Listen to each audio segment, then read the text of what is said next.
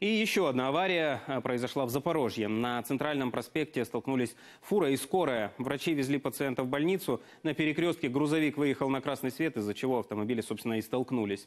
Медики вызвали еще одну скорую, чтобы все же госпитализировать больного. Водитель, медсестра, фельдшер и пациент получили травмы. Всех доставили в больницу.